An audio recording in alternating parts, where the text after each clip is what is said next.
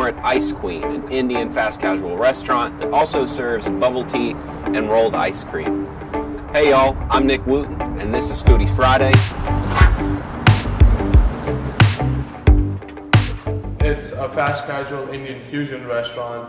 Think of it as uh, Chipotle, but with Indian flavors. So you can basically make your own bowl or a wrap.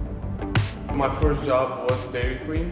I was always impressed with Dairy Queen's model of you know having food and ice cream. So it was like a one-stop kind of thing where you went and you could get ice cream and you could get food, and then the ice cream offerings and varieties were a lot. Uh, plus, then it would also expose people that are just looking for ice cream when they come in, and then they also see like Indian food uh, that's basically fashion more in a fast casual style rather than the typical sit down. I ordered the haleem, which is a classic 18th century dish. It's a stew with beef and lamb. Um, you've got pounded cracked wheat, lentils, uh, a little bit of cilantro, and some other stuff thrown in there. It's a dish that touches really every sort of aspect of taste. It starts sweet and then moves to a little bit spicy and savory. You know, I had to get the naan. Look at this, nice and golden brown. It's just, it's great.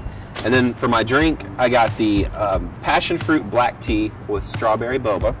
We also tried the tandoori chicken. Uh, obviously, you've got your nice spicy tandoori chicken. You've got your basmati rice. You got some masala, and you've also got some fresh veggies, uh, bell peppers, cucumbers. Uh, huge, huge portions, really big portions.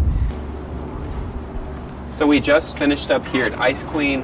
Incredible meal.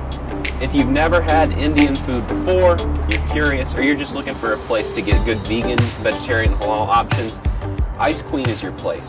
Think Chipotle, but Indian. And I know I will definitely be back. For the Ledger Enquirer, I'm Nick Wooten, and this was Foodie Friday. Stay safe, y'all.